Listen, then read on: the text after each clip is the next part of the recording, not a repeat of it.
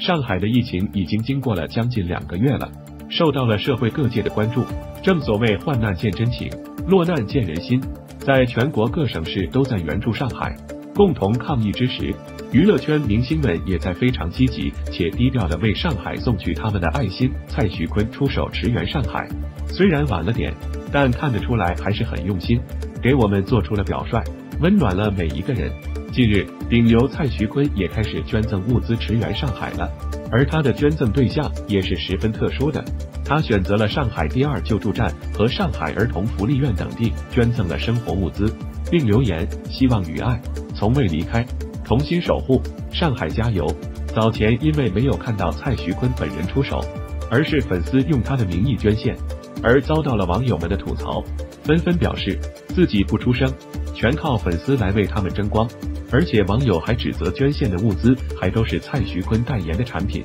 因此网友们表示这不知道是捐献还是在给他做数据。而除了蔡徐坤之前，还有另一位顶流也遭遇了同样情况，那就是肖战。肖战前段时间也是和蔡徐坤一样，一直没有对上海伸出援手，同样也是粉丝用他的名义帮其捐献了一批物资，并且这两家粉丝的做法也全都一样，捐的也是肖战代言的产品。同样也是引发了网友们的吐槽。不过，肖战于四月十七日向爱德基金会捐赠五十万元，用于支持上海疫情防控工作。看得出来，这些顶流驰援上海，虽然比起黄晓明晚，但是还是很有心的。因为从他们的驰援对象以及驰援的物资来看，他们的确是花了心思的。而比起蔡徐坤和肖战，邓超夫妇可是从一开始被网友们吐槽到了现在。孙俪是上海本地人，而邓超则是上海女婿。在上海疫情爆发后，他们没有第一时间伸出援手，